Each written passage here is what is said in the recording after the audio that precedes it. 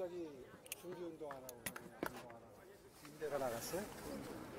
한 사흘 나흘 된 것 같습니다. 황제편이 탈락시키세요 탈락 그 저기 내 반역자야 반역자 주무시지도 못하고 식사도 못 하시면 건강이 많이 안 좋으실 것 같은데 둘 중에 하나라도 하셔야 되는데 이거 어떻게 해요?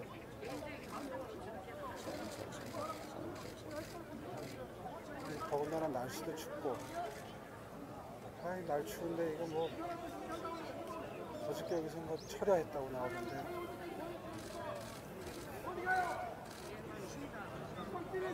저거 드릴 말씀이 아닙니다.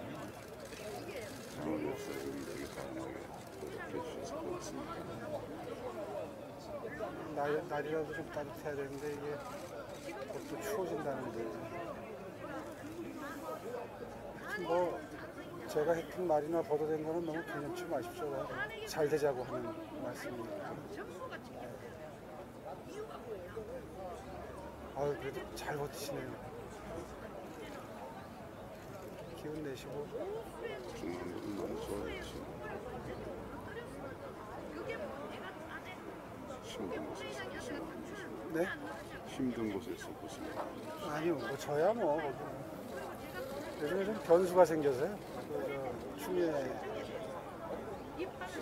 법무장관설이 좀 있어서 그게 좀 어수선하게 합니다.